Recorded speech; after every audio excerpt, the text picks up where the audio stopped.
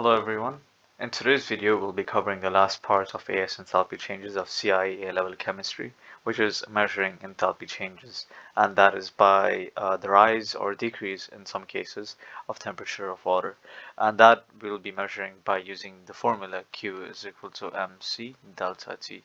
Now this is a formula that those of you who have taken IGCSE physics are familiar with and will continue to use in your AS chemistry and your A2 physics as well in the thermal, thermal physics part. Uh, and the questions from these are not that many and majority of the times they're simple as well. All you have to do is take a look at the, the enthalpy changes units to be able to decipher or be able to obtain the enthalpy change. So let's get to it. So most of the questions from measuring enthalpy changes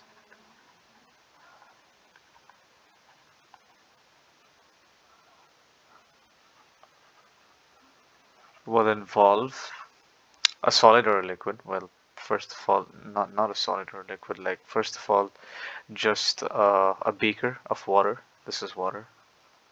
Yeah. Uh, on a gaze. This is like a gaze and a spirit lamp yeah with the the knot or the whatever you call it and uh, with a liquid X okay? And this liquid X is burned and um, the energy that it gives out to raise the temperature of water the temperature of water is measured uh, by using the formula Q is equal to mc delta T right and then it is used to calculate the enthalpy change of like burning this like the combustion of this. I hope that makes sense. Now let's get a bit more into depth of this formula. So this formula Q is equal to mc delta T yeah where Q is equal to the Q is the heat energy in joules right? This is the mass this is the specific heat capacity.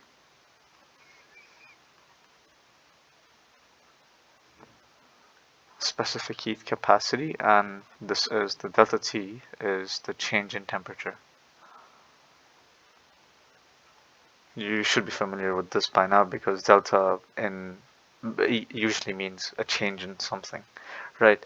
And um, this equation like the value of C, the specific heat capacity of water is given in your data booklet as 4.18 uh, joules grams minus 1 Kelvin minus 1 uh, which is also equal to 4100 uh, 4180 joules kilo, uh, kilograms minus 1 K minus 1 uh, and the like the value you use depends on the mass of water you're going to use. So if you're going to use mass of water in kilograms, this is the one you'll use. And if you're using the mass of water in grams, this is the one you're going to use.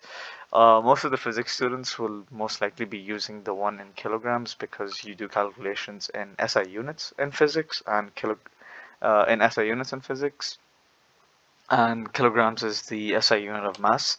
But uh, in chemistry, uh, where we deal with like smaller quantities, you're more likely going to be using the grams version.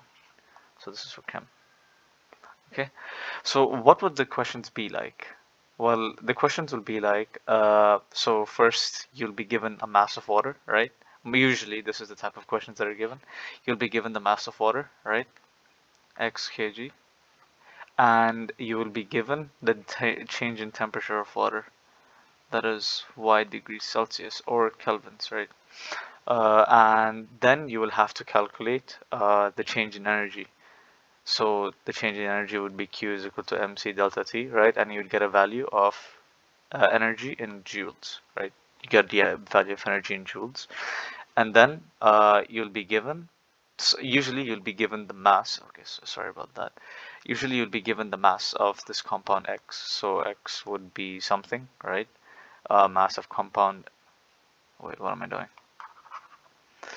Mass of compound X would be Z grams, right? And um, you'll have to calculate the moles of this X and after you calculate the moles, uh, what is the unit of enthalpy changes? Well, the unit of enthalpy changes kilojoules mole minus 1. So how do you convert this q joules of energy into um, this unit? Well, to convert joules to kilojoules, you have to divide this by a thousand, right? So that'll be q kilojoules, right?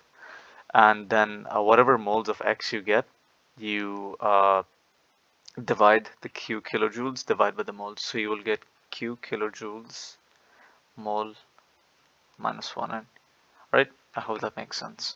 And the reason why we're using the mass of X, right, over in this case is because you're burning X to raise the temperature of Y. So the energy, like the Q kilojoules of energy that is like used to raise the temperature of water is coming from X, assuming that there's no heat losses. And in your chemistry, uh, like CIE A level chemistry, you'll usually assume that there's no heat loss because we can't, we haven't been taught or about how to account for heat loss. So you always uh, assume um, the ideal scenario in which heat loss is negligible. Okay, so those are most of the questions, like those are the basic types of questions that you can expect to see. It can get complicated, but when it does, you will have to um, work around it. So there's two example questions that I have from, uh, I was only able to find two questions up until 2017 past papers. Uh, and one of them is a relatively hard, more difficult question and the other one is the more common type. So let's get to it.